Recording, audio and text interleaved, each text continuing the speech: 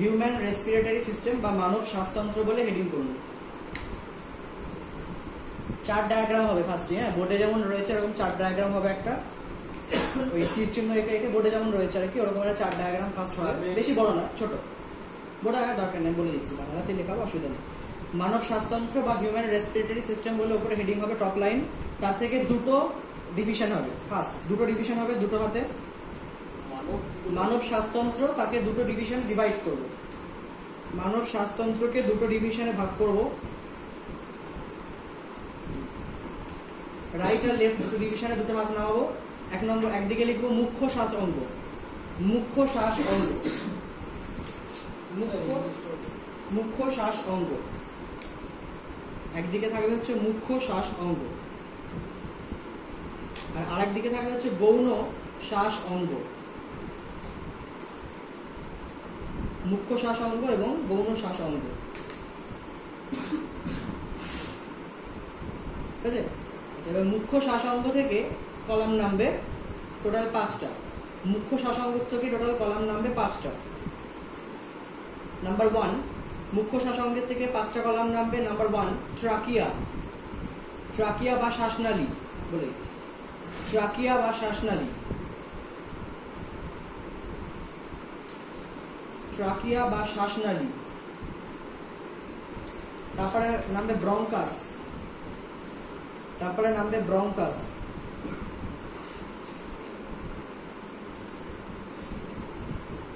তারপরে নামবে হচ্ছে ব্রঙ্কিওল ব্রঙ্কাস তারপরে নামবে ব্রঙ্কিওল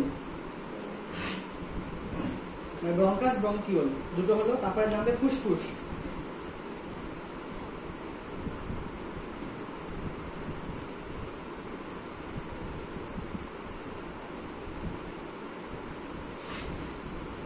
তারপরে নামবে হচ্ছে অ্যালভিওলাই।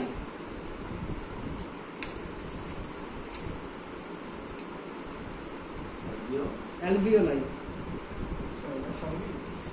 হ্যাঁ পাঁচটা কলম, ট্রাকিয়া, ব্রঙ্কাস, ব্রঙ্কিওল, ফুসফুস আর অ্যালভিওলাই। এরপর হচ্ছে গৌণ শ্বাসঙ্গ থেকে নামবে ছটা। গৌণ শ্বাসঙ্গ থেকে নামবে হচ্ছে ছটা।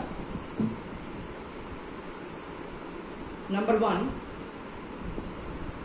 নাসা রন্ধ্র ও নাসিকা পাত নাসা রন্ধ্র ও নাসিকা পাত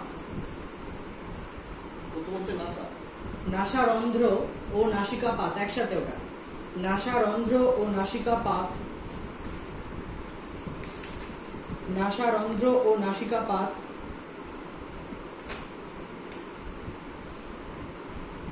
তারপরে লিখবেন গলবিল।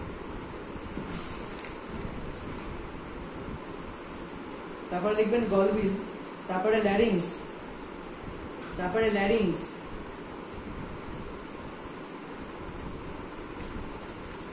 তারপরে মধ্যচ্ছদা।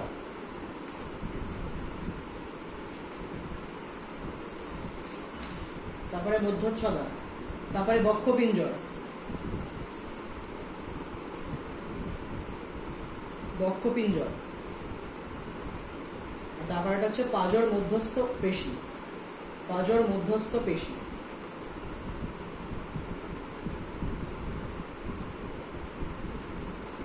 বেশ।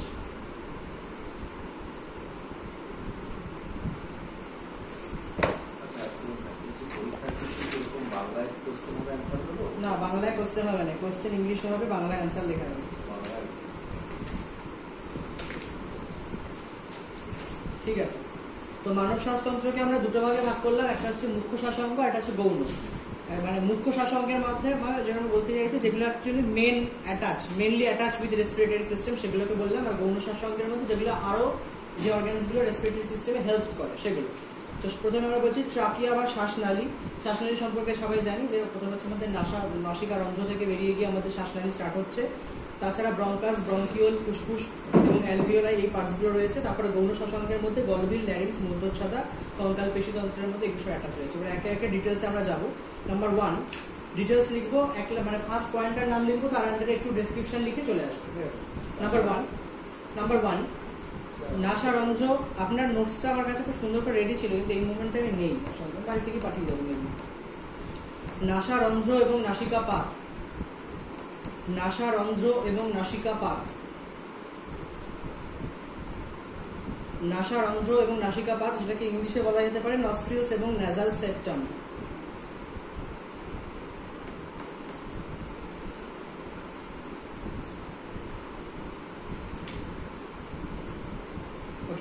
নাসারন্ধ্র বা নাসিকাপাতের আমরা ছোট ছোট ডেসক্রিপশন লিখব। নাম্বার লিখুন। যে দুটি ছিদ্রের মাধ্যমে যে দুটি ছিদ্রের মাধ্যমে নাসিকা বহিঃপ্রকাশে সরি বহিঃপরিবেশে, নাসিকা বহিঃপরিবেশে উন্মুক্ত হয়।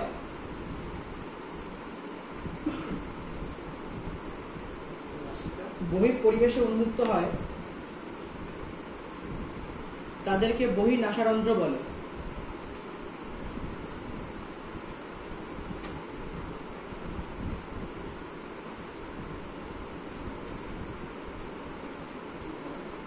তাদেরকে বহি নাসারন্ধ্র বলে। দাঁড়ি তোর সাথেই লিখুন বহি নাসারন্ধ্রের পেছনে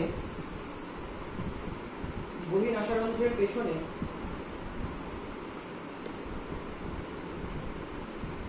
মুখবিবরের ঠিক ওপরে বহি নাসারন্ধ্রের পেছনে বহি- আহ, বহি নাসারন্ধ্রের পেছনে মুখবিবরের ঠিক ওপরে যে চওড়া গহ্বরটি অবস্থান করে যে চওড়া গহ্বরটি অবস্থান করে, তাকে নাসাবিবর বলে। যে চওড়া গহ্বরটি অবস্থান করে, তাকে নাসাবিবর বলে।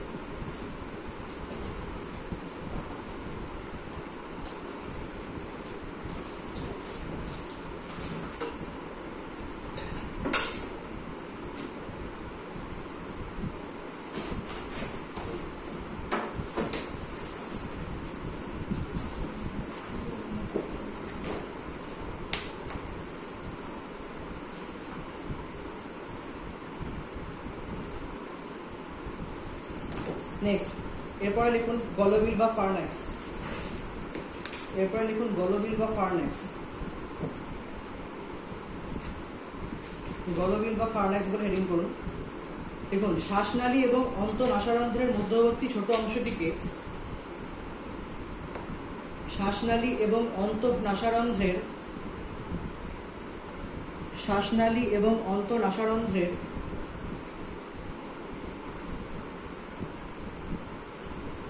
মধ্যবর্তী ছোট অংশটিকে গলবিল বলে। মধ্যবর্তী ছোট অংশটিকে গলবিল বলে। মধ্য সরি অন্ত মধ্যবর্তী ছোট অংশটিকে গলবিল বলে। দাঁড়ি। গলবিলের ওপরে ছোট মাংসপিণ্ড হিসেবে আলজিহোবা বা ইভিউলা উপস্থিত থাকে। গলবিলের ওপরে ছোট মাংসপিণ্ড হিসেবে ছোট মাংসপিণ্ড হিসেবে আলজিওয়া ব্র্যাকেটে লিখে রাখবেন uvula, E V U L A, E V U L A, uvula আলজিওবা বা ইভিউলা থাকে। গলবিলের ওপরে ছোট মাংসপিণ্ড হিসাবে আলজিব বা ইভিউলা অবস্থান করে বা থাকে এটা প্রচণ্ড important line what is the functions of uvula MCQ বা এসিকিউ আকারে আসতে পারে আমি না বলছি পরের লাইনটা বলব দেখুন আলজিব আলজিব খাদ্য গ্রহণের সময় আলজিব খাদ্য গ্রহণের সময় অন্তঃ নাসারন্ধ্র দুটিকে ঢেকে রাখে। অন্তঃ নাসারন্ধ্র দুটিকে ঢেকে রাখে।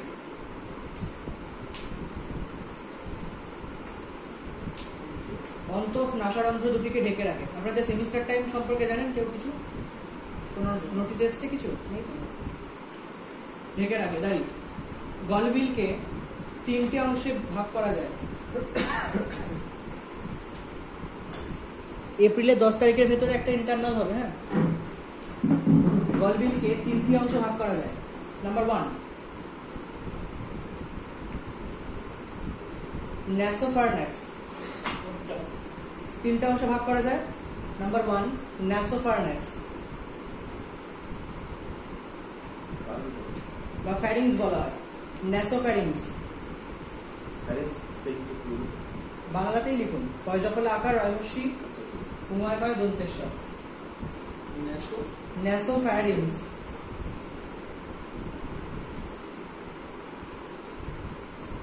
comma oropharynx oro ও রয়্যাল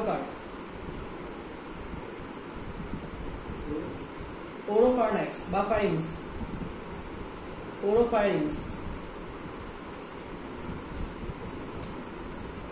তিনটে পার্টে ডিভাইড করা যায় অ্যাকচুয়ালি ফার্স্ট যেটা ন্যাসোফারিংস বললাম, সেটা হচ্ছে আপার পার্ট ওরোফার্নেক্সটা হচ্ছে মিডল পার্ট আর একটা হচ্ছে ল্যারিঙ্গোফার্নেক্স দেখুন ল্যারিঙ্গোফার্নেক্স বা ফ্যারিংস ল্যারিঙ্গোফ্যারিংস লয়জাফলা আকার রয়মস্যি উময় গয় ওকার। ফয়জফলা আকার রয়মস্যি উময় কয় দন্তেশ্বর। ল্যারিঙ্গোফ্যারিংস লিখুন নিচের অংশ বা লোয়ার পার্ট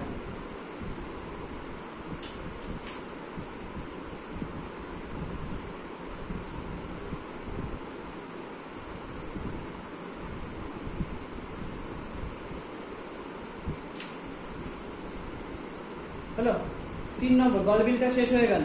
ফার্স্ট আমরা নাসা নাসারন্ধ্র তারপরে দু নম্বর করলাম গলবিল এবার তিন নম্বর কি হবে তাহলে? ল্যারিংস বা ষড়যন্ত্র দেখুন ল্যারিংস বা ষড়যন্ত্র। যেখান থেকে স্বর তৈরি হয় আর কি। ল্যারিংস অ্যাডামসের অ্যাপেল সবাই জানা আছে তো? কি জিনিস? Adam's apple? জানা নেই, ঠিক আছে। দেখুন মুখগলবিল এবং শ্বাসনালীর মধ্যবর্তী স্ফীত অংশকে মুখগলবিল এবং শ্বাসনালীর মধ্যবর্তী স্ফীত অংশকে মুখগলবিল এবং শ্বাসনালীর মধ্যবর্তী স্ফীত অংশকে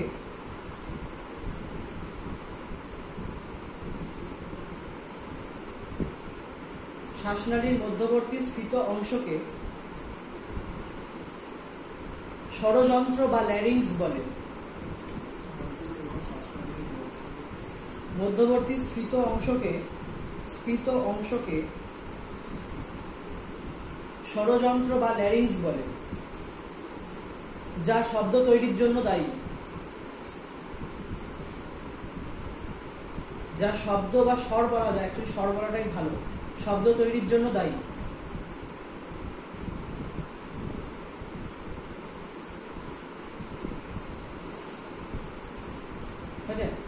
এবার এখান থেকে এরপরের লাইনটা থেকে এসে কি আসবে। দেখুন পূর্ণাঙ্গ পুরুষে ষড়যন্ত্র, পূর্ণাঙ্গ পুরুষে অ্যাডাল্ট মেন পূর্ণাঙ্গ পুরুষের ষড়যন্ত্র। Third to six third to six three R D to six T H third to six cervical কসিরুকার অঞ্চলে অবস্থান করে। থার্ড টু সিক্স মানে সি থ্রি থেকে সি সিক্স এর ভেতরে ভোকাল বক্সটা বা ল্যারিংসটা অ্যাডাল্ট মেনের ক্ষেত্রে লোকেট করে, অবস্থান করে। থার্ড টু সিক্স সার্ভাইকাল কসিরুকা অঞ্চলে অবস্থান করে।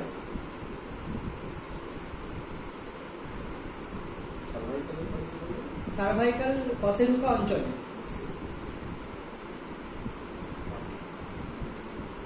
অবস্থান করে।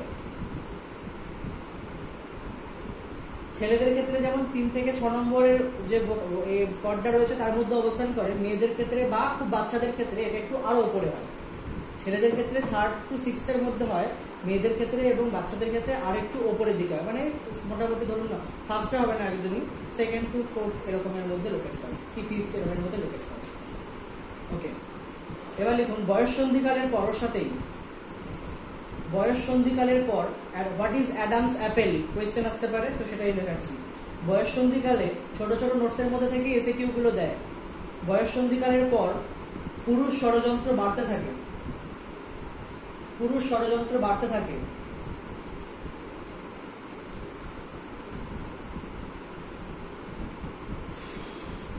থাইরয়েড গ্রন্থির অবস্থান সম্পর্কে সবার আইডিয়া আছে? কোথায় থাইরয়েড গ্রন্থি অবস্থান করে জানেন কেউ? Thyroid glands? থাইরয়েড গ্ল্যান্ডস আমাদের ষড়যন্ত্র বা ভোকাল বক্সের দু সাইডে, বোথ সাইডে এরকম ভাবে অবস্থান করে। এই পজিশনে থাইরয়েড গ্ল্যান্ড থাকে। থাইরয়েড গ্রন্থি এইখানে থাকে, ঠিক এই পজিশন বরাবর। তো দেখুন বয়স সন্ধিকালের পর পুরুষ ষড়যন্ত্র বাড়তে থাকে এবং থাইরয়েড কার্টিলেজ সামনের দিকে বেরিয়ে আসে। থাইরয়েড কার্টিলেজ সামনের দিকে বেরিয়ে আসে।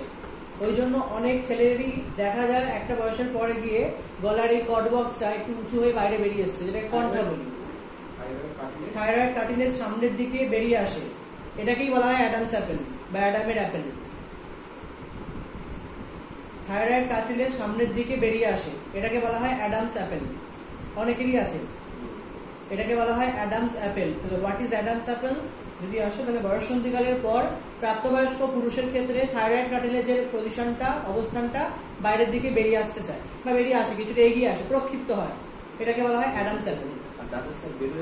এটা অ্যাকচুয়ালি হরমোনিক্যাল ডিসঅর্ডার্স মানে যাদের বেরোচ্ছে না তার মানে হচ্ছে হরমোন জনিত কিছু ডিসঅর্ডার্স আছে। এটা হরমোনের থ্রু দিয়ে হয়। ঠিক আছে? কার্টিলেজ থাইরয়েড যে কার্টিলেজটা ওটা টি ফোর এর হরমোন দিয়ে কাজ করে।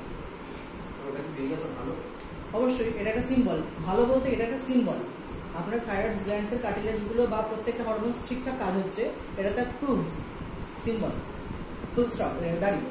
অ্যাডামের আপেল বৃদ্ধি চল্লিশ বছর বয়স পর্যন্ত চলতে থাকে।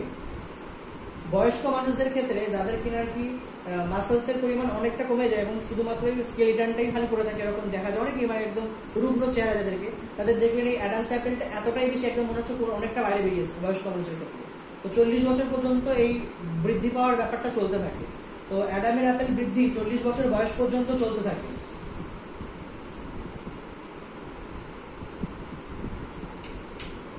চল্লিশ বছর বয়স পর্যন্ত চলতে থাকে। দাঁড়ি। পূর্ণবয়স্ক মানুষের ক্ষেত্রে ষড়যন্ত্রের দৈর্ঘ্য ফোর পয়েন্ট ফোর সেন্টিমিটার চল্লিশ বছর বয়স পর্যন্ত অ্যাডামের আপেলের বৃদ্ধি চলতে থাকে, দাড়ি, পূর্ণবয়স্ক মানুষ, এবার আপনি একটা শর্ট নোট নেবেন। Adult men adult men length of the larynx এবার লিখতে পারেন বা ষড়যন্ত্রের দৈর্ঘ্য। প্রাপ্তবয়স্ক পুরুষের ক্ষেত্রে ষড়যন্ত্রের দৈর্ঘ্য ফোর পয়েন্ট ফোর সেন্টিমিটার আর যদি অ্যাডাল্ট ওমেন হয়, তাহলে থ্রি পয়েন্ট ফোর সেন্টিমিটার লিখে রাখুন অ্যাডাল্ট মেন হলে ফোর পয়েন্ট ফোর সেন্টিমিটার আর অ্যাডাল্ট ওমেন হলে থ্রি পয়েন্ট সিক্স করবেন। থ্রি পয়েন্ট সিক্স সেন্টিমিটার মেয়েদের ক্ষেত্রে তিন পয়েন্ট ছয় ছেলেদের ক্ষেত্রে চার পয়েন্ট চার। ছোট ছোট করে নোট নিন। প্রাপ্তবয়স্ক পুরুষের ক্ষেত্রে চার পয়েন্ট চার হবে ষড়যন্ত্রের দৈর্ঘ্য। অ্যাডামের অ্যাপেল নিয়ে কিছু বলিনি। অ্যাডামের অ্যাপেল মিটে গেছে। ষড়যন্ত্রের দৈর্ঘ্য। Length of the vocal box of the larynx পূর্ণবয়স্ক পুরুষের ক্ষেত্রে ফোর পয়েন্ট ফোর মেয়েদের ক্ষেত্রে থ্রি পয়েন্ট সিক্স ইউনিটটা হচ্ছে সেন্টিমিটারে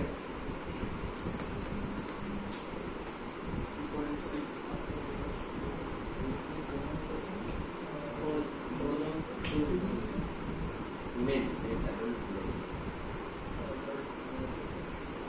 এটা সেম আর ওমেন বিষয়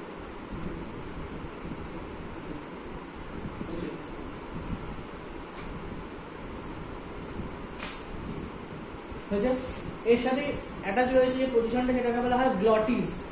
গ্লটিসটা অ্যাকচুয়ালি আমার এই যে কতটা শ্বাসবায়ু গ্রহণ করব, কতটা ত্যাগ করব, কতটা আটকে রাখব, কতটা ছাড়বো, এইটা কন্ট্রোল করা হচ্ছে এই গ্লটিস নামক একটা মেমব্রেন বা পর্দা জাতীয় জিনিস। যার সাথে আমরা বলতে পারি এপিগ্লটিস এর পরে যুক্ত থাকবে। ফাংশন জানেন কেউ? খাদ্যনালী এবং শ্বাসনালীর মধ্যে একইভাবে খাদ্য এবং শ্বাসবায়ু যাতায়াত করায়। আমরা যখন খাবার খাই, তখন তো শ্বাস প্রশ্বাসও চালাতে থাকি। তখন খাবার খাওয়ার সময় একদিকে খাবার খাচ্ছি, যেটা কিনা খাদ্যনালীর ভেতরে যাবে, শ্বাস নেওয়ার সময় শ্বাসনালীর ভেতরে যাবে। দুটোকে ডিভাইড করে দুটো নালীর মধ্যে পাঠানোর যে কাজটা, সেটা এপিগ্লটিস বলে এক ধরনের মাংসল পথ থাকে, সেই কাজটা করে থাকে। তো গ্লটিস অ্যাকচুয়ালি একটা মেমব্রেন বা একটা দরজা, যে কিনা কন্ট্রোল করছে যে কোন দরজায় বা কোন গর্ত বা কোন নালীর ভেতর দিয়ে কোন জিনিসটা যাবে। তো এর সাথে লিখে রাখুন, মুখগলবিল এবং ষড়যন্ত্রের সংযোগস্থলে, মুখগলবিল এবং ষড়যন্ত্রের সংযোগস্থলে, মুখগলবিল এবং ষড়যন্ত্রের সংযোগস্থলে মুখগলবিল এবং ষড়যন্ত্রের সংযোগস্থলে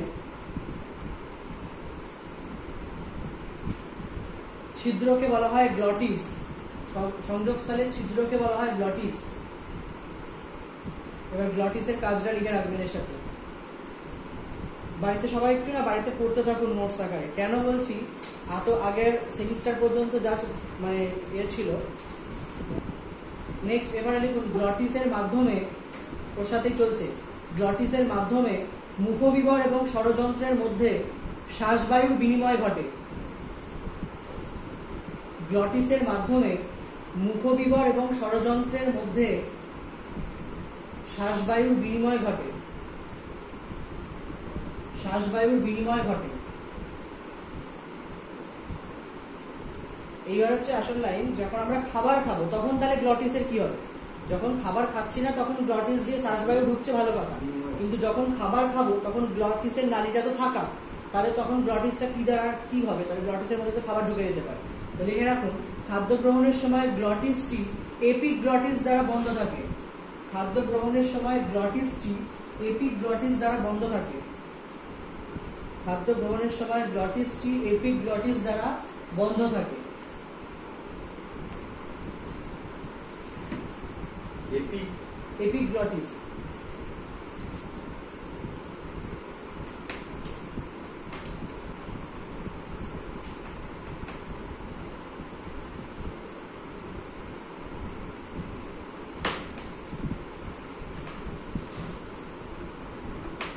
নেক্সট লিখুন ট্রাকিয়া নেক্সট লিখুন ট্রাকিয়া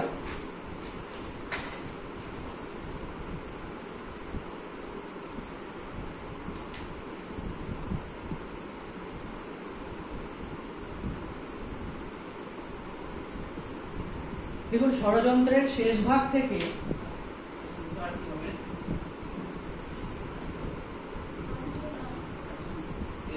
ষড়যন্ত্রের শেষ ভাগ থেকে গ্রীবার মধ্য দিয়ে সি ফাইভ লিখে রাখুন। পঞ্চম কসেনকা বলা দরকার নেই।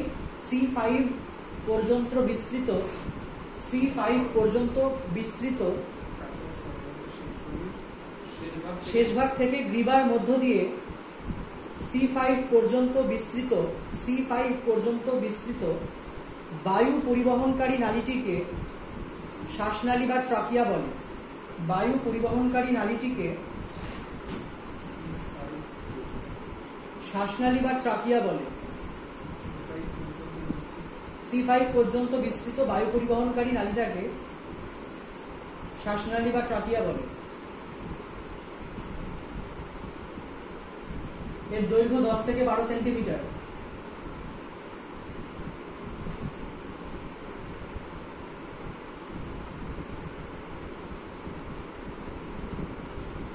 এর মধ্যে মিউকাস ক্ষরণকারী গবলেট কোষ থাকে এর মধ্যে মিউকাস ক্ষরণকারী গবলেট কোষ থাকে এর মধ্যে মিউকাস ক্ষরণকারী গবলেট কোষ থাকে দশ থেকে বারো। দশ থেকে বারো সেন্টিমিটার লেন্থ আর টেন টু টুয়েলভ সেন্টিমিটার আর মিউকাস ক্ষরণকারী গবলেট কোষ থাকে। কেন থাকে গবলেট কোষ? যদি জিজ্ঞেস করে, কি বলবেন? গবলেট কোষ থেকে যদি মিউকাস খরিত না হতো, তাহলে আমরা যখন কোনো দূষিত বায়ু বা পলিউটেড এয়ার যখন আমরা ইনহেল করছি, শ্বাস নিচ্ছি, তখন তার মধ্যেকার যে, ধরুন কোনো ব্যাকটেরিয়া হতে পারে, কোনো ভাইরাস হতে পারে, বা পলিউট্যান্ট যে, দূষক পদার্থ যেটা, সেটাও আমাদের ডিরেক্টলি ফুসফুসে বা লাংসে চলে যেতে পারতো। মিউকাস সেলসগুলো কি করে? ওই জিনিসগুলোকে ক্যাপচার করে নিজের মধ্যে, আঠারো জাতীয় জিনিস তো ওটা ক্যাপচার করে ওটা নিজের সঙ্গে নিয়ে নেয়। এটা বজ্র পদার্থ যেটা শ্বাসনালী বজ্র পদার্থ, যেটা আমাদের শ্লেষা আকারে সর্দি কাশির মাধ্যম সময় বেরিয়ে আসে, ওই নোংরা জাতীয় পদার্থগুলো। নেক্সট এরপরে পয়েন্ট পয়েন্ট করুন ব্রঙ্কিওল বা ব্রঙ্কাস শ্বাসনালীটা ছেড়ে দিন। পরের পয়েন্ট হচ্ছে ব্রঙ্কাস এবং ব্রঙ্কিওল ব্রঙ্কাস এবং ব্রঙ্কিওল ব্রঙ্কাস এবং ব্রঙ্কিওল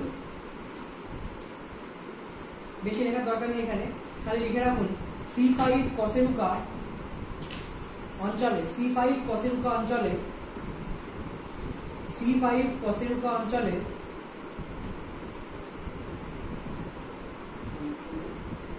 শ্বাসনালী দুটি ভাগে ভাগ হয়ে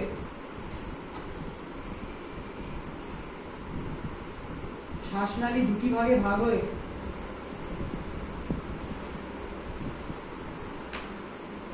দুটি প্রাইমারি দুটি প্রাইমারি ব্রঙ্কাই গঠন করে। দুটি প্রাইমারি ব্রঙ্কাই গঠন করে। মানে অ্যাকচুয়ালি কি হয় মানে যখন শ্বাসনালীটা উপর থেকে নেমে আসছে করসপন্ডিং খাদ্যনালীও নেমে আসতে থাকে। শ্বাসনালী এবং খাদ্যনালী একই সাথে নামতে শুরু করে। খাদ্যনালী কিন্তু ওই ওএসএল ফেগাস খাদ্যনালী যেটা, ওটা একদম পাকস্থলী মানে স্টমাক পর্যন্ত আসছে। আর ওদিকে শ্বাসনালী কিন্তু পঞ্চম কসেরুকা বা একদম এই সার্ভাইকালের পাঁচ নম্বর কসেরুকার ওপর এসে নিচের পশন থেকে দুটো ভাগে ডিভাইড হয়ে দুটো লাংসে ডিভাইড হয়ে যায়। ফুসফুসের দুটো লোভ লোভের মধ্যে দুটোতে ডিভাইড হয়ে যায়। তো সেটাই বললাম শ্বাসনালী দুটি ভাগ হয়ে দুটি প্রাইমারি ব্রঙ্কাই গঠন করে।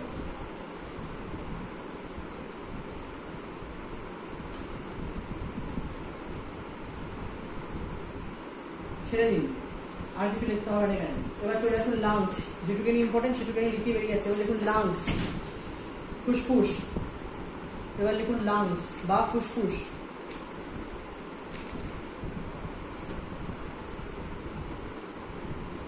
ফুসফুস হচ্ছে মানুষের প্রথম, প্রধান শ্বাসঙ্গ আর কি। প্রধান শ্বাসঙ্গ হচ্ছে ফুসফুস। এমসিকিউ আকারে এলে প্রধান শ্বাসঙ্গ হচ্ছে ফুসফুস। লিখতে হলে লিখবেন, মনে রাখতে পারলে মনে রাখবেন। প্রধান শ্বাসঙ্গ হলো ফুসফুস।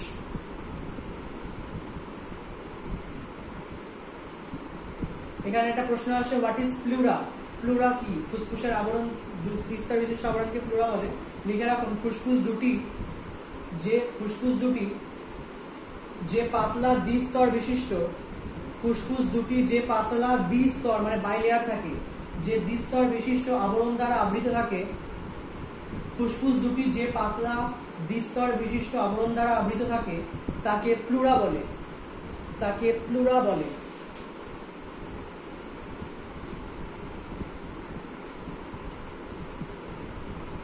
এবার আমি আর কাজ লেখাচ্ছি না। প্লুরাল যদি কাজ বলে, কাজ বানিয়ে লিখে দেবেন যে বিভিন্ন যান্ত্রিক আঘাত থেকে ফুসফুসকে রক্ষা করা পর্দার কাজ ভেতরের মেমব্রেন ইন্টারনাল অর্গানস গুলোকে প্রোটেক্ট করা। তো বাইরের যে কোনো যান্ত্রিক আঘাত থেকে রক্ষা করা, প্রসারিত যদি প্রচণ্ড পরিমাণে এ হয়ে যায় এক্সপ্যানশন হয়ে যায়, সেটাকে কন্ট্রোল করা এবং ফুসফুসকে আর্দ্র রাখতে সাহায্য করে, ভিজিয়ে রাখতে সাহায্য করে এক্সেট্রা কিছু বলার দরকার নেই।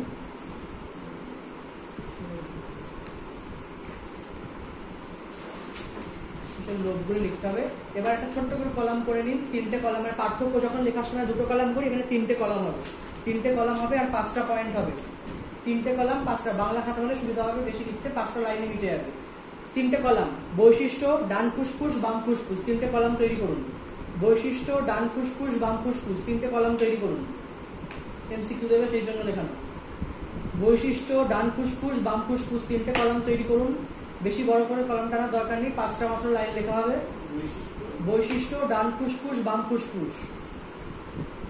বৈশিষ্ট্যের মধ্যে এক নম্বর ঘরে লিখুন লোভের সংখ্যা লোভ এলো বিই বা লোভের সংখ্যা লয়কার বয়কার র। লোবের সংখ্যা। ডান ফুসফুসের ক্ষেত্রে লোভের সংখ্যা হচ্ছে তিনটি। ডান ফুসফুসের ক্ষেত্রে লোভের সংখ্যা তিনটি আর বাম ফুসফুসের ক্ষেত্রে দুটো। তিনটে দুটো নামগুলো লিখে রাখুন ছোট ছোট করে। তিনটের পাশে লিখে রাখুন যেখানে তিনটে লিখলেন ডান ফুসফুসে সেখানে লিখে রাখুন নামগুলো। নাম্বার ওয়ান সুপেরিয়ার মানে এগুলো কিছুই না নাম কিছুই না। First portion second middle portion third portion বা last portion superior middle inferior superior মানে হচ্ছে ফ্রন্টাল পোর্শন বা সামনের দিকেরটা মিডল মানে মাঝখান ইনফেরিয়ার মানে পেছনের দিক। তিনটে লোক থাকে। মিডিল আর লাস্টে inferior superior middle inferior superior middle inferior তিনটে লোক থাকে ডান ফুসফুসে সুপেরিয়ার মিডিল ইনফেরিয়ার আর বাম ফুসফুসের ক্ষেত্রে মিডিল বলে কিছু নেই সুপেরিয়ার আর ইনফেরিয়ার বাম ফুসফুসের ক্ষেত্রে মিডল হয়নি লেখা? বলুন কোন জায়গাটা বলতে হয় বলুন? আগের লাইনটা। বৈশিষ্ট্য ডান ফুসফুস বাম ফুসফুস। তিনটে কলাম তৈরি করেছেন? হ্যাঁ। বৈশিষ্ট্যের ঘরে এক নম্বরে লিখুন লোভের সংখ্যা। লোভ বৈশিষ্ট্যতে লিখুন লোভের সংখ্যা, ডান ফুসফুসে লিখুন তিনটি, বাম ফুসফুসে লিখুন দুটি। আচ্ছা ওনাকে একটু নোটসটা শেয়ার করে দেবেন। আচ্ছা সেকেন্ড পয়েন্টে চলে আসছি আমরা, বৈশিষ্ট্যের সেকেন্ড পয়েন্ট লিখুন ওজন। আপনারা লিখুন, যারা লিখতে পারেননি লিখুন, পরে লিখে নেবেন ফাঁকা জায়গাটা। ওজন। ডান ফুসফুসের ওজন অ্যাপ্রক্সিমেট ওজন এগুলো, ঠিক আছে? সিক্স টু ফাইভ ছশো পঁচিশ gram six hundred twenty five gram approximate analysis এগুলো। বাম ফুসফুসের ক্ষেত্রে five sixty seven five hundred sixty seven পাঁচশো সাতষট্টি গ্রাম বাম ফুসফুস। ডানে ছশো পঁচিশ বামে পাঁচশো সাতষট্টি। ব্র্যাকেটে প্রায় লিখতে পারেন। বাম পাঁচশো সাতষট্টি অ্যাপ্রক্সিমেট। পাঁচশো পঁয়ষট্টিও বলে অনেকে ডানে হচ্ছে ছশো পঁচিশ। ডানে ছশো পঁচিশ বামে পাঁচশো সাতষট্টি। পরের বৈশিষ্ট্য হবে cardiac notch cardiac notch cardiac notch ডান ফুসফুসে লিখুন কার্ডিয়াক নচ নচ সম্পর্কে আইডিয়া আছে কারোর? আচ্ছা ছবি দেখাচ্ছি। কার্ডিয়াক নচ আচ্ছা এর ছবিগুলো তো বাড়ি থেকে পাঠাবো ফোন তো আনেনি কার্ডিয়াক নচে লিখুন অনুপস্থিত মানে এখানে কোনো নচ থাকে না। ডান ফুসফুসের কার্ডিয়াক নচ থাকে না। ডান ফুসফুসের কার্ডিয়াক নচ থাকে না নচ মানে একটু ঢোকা মতন জায়গা, একটু ঢুকে গেছে, এরকম একটা নচ অনুপস্থিত, বাম ফুসফুসে বর্তমান মানে থাকে। ছেড়ে দিন। এবার আমাদের বৈশিষ্ট্য শেষ। এবার চলে আসুন, তিনটে দেখালাম বোধ না? ছেড়ে দিন, আর লেখা দরকার নেই। এবার লিখুন অ্যালভিওলাই অ্যালভিওলাই পরের পয়েন্টে চলে আসুন অ্যালভিওলাই চারটে পয়েন্ট আছে আর। অ্যালভিওলাই মধ্যছদা বক্ষপিঞ্জর আর পাঞ্জরাস্থি অ্যালভিওলাই বলে হেডিং করুন।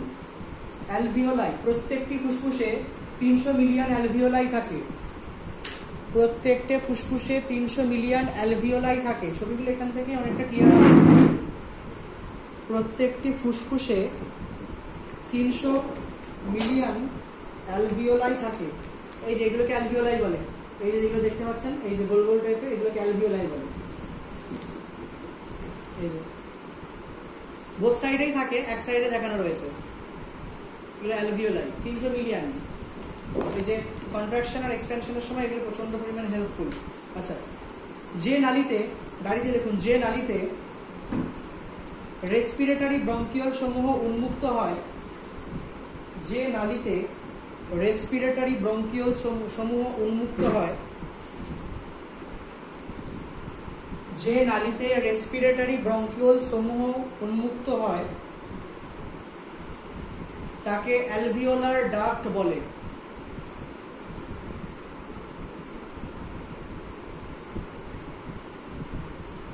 তাকে অ্যালভিওলার ডাক্ট বলে। ডাক্ট ডয়াকার কয়টা হয় ডাক্ট ডয়াকার কয়টা হয় এখান থেকে বেসিক্যালি কোয়েশ্চেন আসবে কতগুলো কত থাকে? মোটামুটি তিনশো মিলিয়ন থাকে, ব্যাস। আর কিছু জানা দরকার নেই। এবার চলে আসুন মধ্যচ্ছদা বা ডায়াফাগ্রাম মধ্যচ্ছদা বা ডায়াফাগ্রাম আচ্ছা ডায়াফাগ্রামটা কি জিনিস বলে দিই? অ্যাকচুয়ালি যেটা নর্মাল ক্যাজুয়ালি যদি বলি, সেটা হচ্ছে আমাদের বুকের সঙ্গে পেট। এটাকে আলাদা করেছে নর্মাল অ্যাবডোমেন পিরিয়ড আর আমাদের থোরাসিক কেজ দুটোকে একটা মাংসল পথ আছে, এটা ডিভাইড করে দিয়েছে। এটা সব থেকে ভালোভাবে বুঝতে পারবেন যখন আপনারা আটারিয়ার ভেন করব ধমনী এবং শিরা পড়ব মহাধমনী মহাশিরা যখন পড়ব তখন এই মধ্যচ্ছদার ওপর পোর্শন আর লোয়ার পোর্শনে মহাশিরা আর মহাধমনী ডিভাইড করে দেয় দেখুন, মধ্যচ্ছদার আন্ডারে লিখুন, উদর গহ্বর এবং বক্ষ গহ্বরের মাঝখানে, উদর গহ্বর এবং বক্ষ গহ্বরের মাঝখানে, উদর গহ্বর এবং বক্ষ গহ্বরের মাঝখানে অর্ধচন্দ্রাকৃতি যে মাংসপেশি। অর্ধচন্দ্রাকৃতি যে মাংসপেশি। অর্ধচন্দ্রাকৃতি যে মাংসপেশি।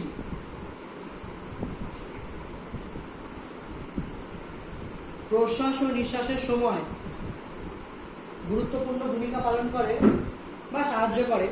প্রশ্বাস ও নিঃশ্বাসের সময় সাহায্য করে, তাকে মধ্যচ্ছদা বলে। তাকে মধ্যচ্ছদা বলে। সাহায্য করে, তাকে মধ্যচ্ছদা বলে। এই জায়গাটা একবার দেখে নিন। এই যে জায়গাটা দেখছেন, এই জায়গাটা এই জায়গাটা ওয়েব পাত মতন, এই যে মাংসল পদ্মা, এইটা কি বলা হয়? মধ্যচ্ছদা অ্যাকচুয়ালি এই যে থোরাসিক কেজ আর অ্যাবডামিনাল পিরিয়ড হচ্ছে এই জায়গাটা। থোরাসিক কেজ আর অ্যাবডামিনাল পিরিয়ডের মধ্যে এই মধ্যচ্ছদাটা কাজ করে ডিভাইড করে দেয়। আচ্ছা এরপরে লিখুন বক্ষপিঞ্জর বা থোরাসিক কেজ বক্ষপিঞ্জর বা থোরাসিক কেজ।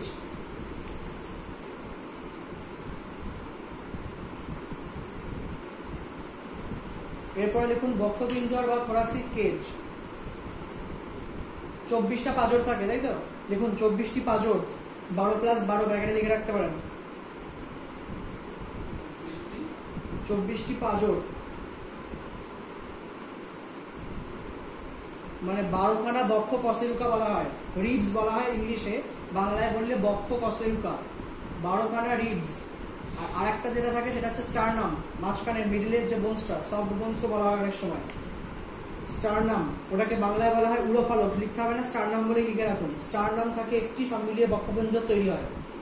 চব্বিশখানা পাজর, তার মধ্যে বারোখানা করে কসিরুকা দু সাইডে মাঝখানেটা হচ্ছে স্টারনাম সব মিলিয়ে পঁচিশটা। বারো বারো চব্বিশ আর মাঝখানে একটা পঁচিশ। স্টারনাম একটা থাকে। আর কিছু লিখতে হবে না, এটা মিলিয়ে বক্ষপিঞ্জর তৈরি হয়। বক্ষপিঞ্জর মানে একটা খাঁচা, যার ভেতরে অ্যাকচুয়ালি লাংসটা লোকেট করে। And the last one star নাম একটা থাকে, সব মিলিয়ে পঁচিশটা, আর কিছু লিখতে হবে না। মানে কি নিয়ে গঠিত বক্ষপিঞ্জর বারো বারো চব্বিশখানা কসেরুকা আর একখানা স্টার নাম নিয়ে গঠিত। হয়ে গেল। লাস্ট ওয়ান দশ নম্বর, পাজর মধ্যস্থ পেশি। পাজর মধ্যস্থ পেশি বা ইন্টার ইন্টারকোস্টাল মাসেল। পাজর মধ্যস্থ পেশি বা ইন্টার ইন্টারকোস্টাল মাসেল। পাজর মধ্যস্থ পেশি বা ইন্টারকোস্টাল মাসেল। পাজর মধ্যস্থ পেশি বা ইন্টার ইন্টারকোস্টাল মাসেল।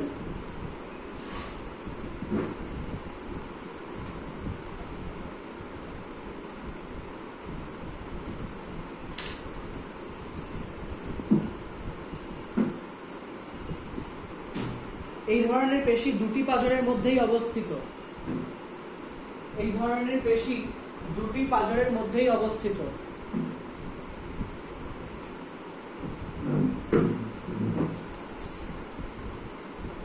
এই ধরনের পেশি দুটি পাজরের মধ্যেই অবস্থিত। দাড়ি। প্রশ্বাস ও নিঃশ্বাসের সময় বক্ষপিঞ্জয় বক্ষপিঞ্জরে ওঠানামা বক্ষপিঞ্জরে ওঠানামায়